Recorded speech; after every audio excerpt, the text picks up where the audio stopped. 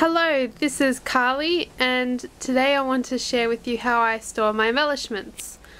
So I store most of my embellishments in this uh, drawers that I've, I've purchased and they were the cheapest drawers I could find so they're not the most attractive um, but they do the job fine uh, and I think uh, I'd like to get a second one but right now I don't really need it. So I've got all my embellishments um, separated by by mostly colour.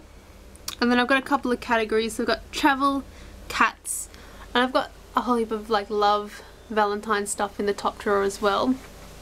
Ideally I think I'd like to have it, um, I usually separate my colours into eight different categories. Um, so like over here I've got all my papers and I usually separate them into green, blue, purple, pink, red yellow and orange together because they're not really colours that I use often, brown and then neutrals so black, white, grey, gold and silver I stick in there. So that's how I, I like to store my colours, that they're categories that make sense to me.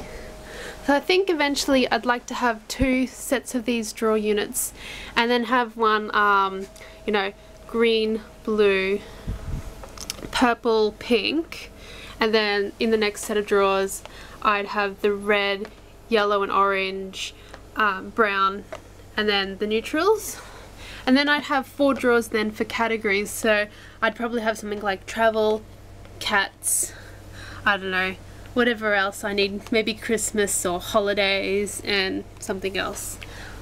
So that's that's my plan for the future but right now I've got it like this and it's it's working for me.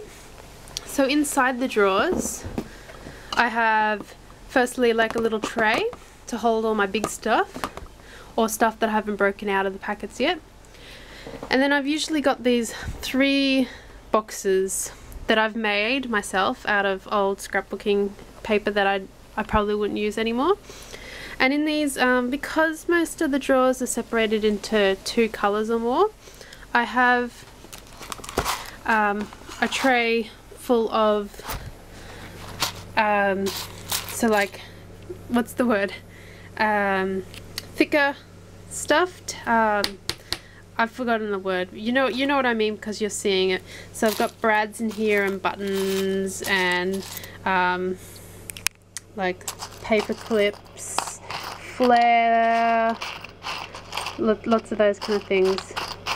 I'm trying to think of the word. It's thick thickness. And so here's my other one. That one's for pink and then I don't have much brown stuff. Dimensional. Dimensional's the word I'm trying to think of. And then in the third little box, I have my die cuts. And because I can only fit three, I've got the pink and the brown in here together. So I've got tags, um, I've got stickers from you know packets that are that are just about empty. I'll cut apart the stickers and put them into colours. So that's that's where I stick everything there. And then they just go here in the box in the drawer.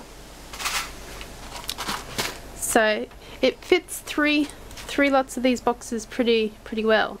And then this um, I have enough room here for something there. I was thinking about maybe putting washi tape there but right now I don't have enough washi tape to divide out into the colors so in here because this is my love themed one I've got some wood veneer in there and and then just um, packets. So things that I haven't broken apart yet um, like these flair I haven't broken them apart they're still in the love category. Eventually I might break them apart and put them into their colors. Some bling this is again there's not much pink um, or brown on this left but I've been using it for my wedding album, so love themed. Um, once I'm done with my wedding album, I'll probably um, break the part up apart the ones that I haven't used yet and stick them into colours. And then this one here is a good example of a sticker sheet that has lots and lots and lots of colours on it, but when I look at it, I mostly see pink and and love. So I'd probably use it with those kind of themes. Then once I've used it again, I'll probably put it away into their colours got some ribbons, some, some frames. I do have some, um, what's that word? Some, um, I can't think of it, some floss. Um, I usually have them in a separate drawer altogether. Um, but at the moment I've obviously used this and I've just put it back into the pink thing. If you're wondering what I'm talking about there, over here I've got a drawer full of all, all my sewing stuff. That was my pink, brown and love. Here's my blue and greens. So again, at the back here I've got my green dimensional stuff, my blue dimensional stuff, and then my flatter um, stickers and tags and things like that will go in there. So I find these boxes really easy to, to flick through when you're not holding a camera. Obviously you can flick through it a bit better and find what you need.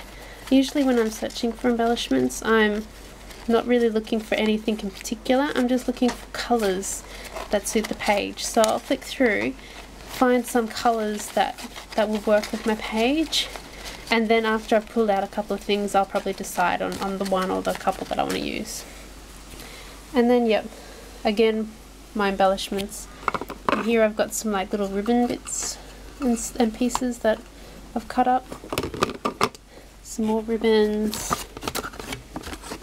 And then some sticker sheets and some chipboard sheets.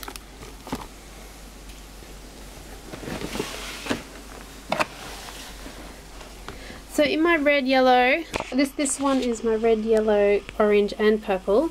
I found that I don't actually use purple much in scrapbooking. I'm a fan of the colour, just don't like it in scrapbooking. So at the moment this is pretty much all my purple stuff and then there's a couple in there, a couple of ribbons and stuff. This is my um, die cuts and stickers for all the colours but as you can see it's mostly red, yellow, orange. Um, and I don't have very many embellishments. This isn't really a colour I use. I do use red a bit.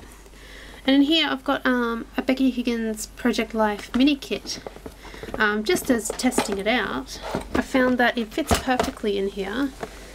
And it's got a nice metal uh, magnet clasp. And in there I've got all my dimensional stuff. So my reds, yellows and orange and I quite like it. I like it's really easy to, to, to spread everything out and see it. So I've measured it up.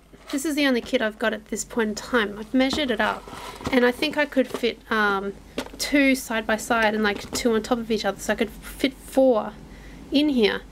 Um, so as my Project Life collection grows I'm thinking maybe of turning these into you know, where I keep my stuff I'm not sure. I'm undecided at the moment. I do like when I open up, I can see what I've got and flick through. With this, I, I really do have to take it out um, and open it before I can flick through and find something. So is that as a disadvantage. But yeah, I'm, I'm undecided at the moment. I'm going to see if it works for me yet before I commit. So all my my neutrals drawer I call this, so whites, creams, blacks, um, and also golds and silvers. Again, I don't have much stuff. A lot of these um, buttons are actually from my clothes, um, spare ones. Seem to have a lot of black and grey clothes for some reason. Um, now let's come to help. And then my travel drawer. Uh, I've got quite a bit of travel stuff because for a while my only albums were travel related. This is a little um, jar full of snow related stuff. It doesn't snow where I live, um, so I don't have much snow stuff. Um, I've only got this snow stuff because I have been to America when it snows and so as you can see I haven't really used, I've probably only done a couple of pages on snow. and then yep again my stickers and tags, my more dimensional stuff, and then I've got a whole heap of, a lot of this stuff is really, really old now. I don't think I've bought any travel related products in a long time.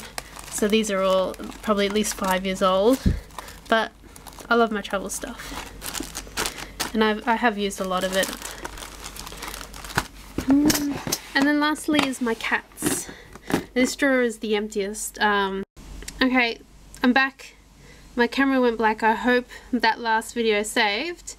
Um, in here I've got something that I used to hold um, a whole heap of brads in. Um, now that I've separated the brads out into like the colour drawers, I've just stuck that there because it sort of fits perfectly. Um, so I, am going to probably use that in one of my drawers in the future. I'm just not sure with what yet. So yeah, that's that's how I sort my embellishments. Because um, when I'm scrapbooking page, I usually think by colour first. So I'll go to the colour drawer, um, pull it open and flick through and see what, what matches or what goes or what I could possibly use with the page.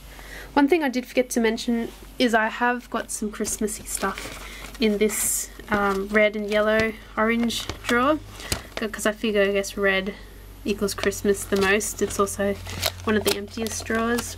I don't have much Christmas stuff. Anyway, that's how I store my embellishments. On the top here I've got a whole heap of pencils and tools, my scrapping tools there.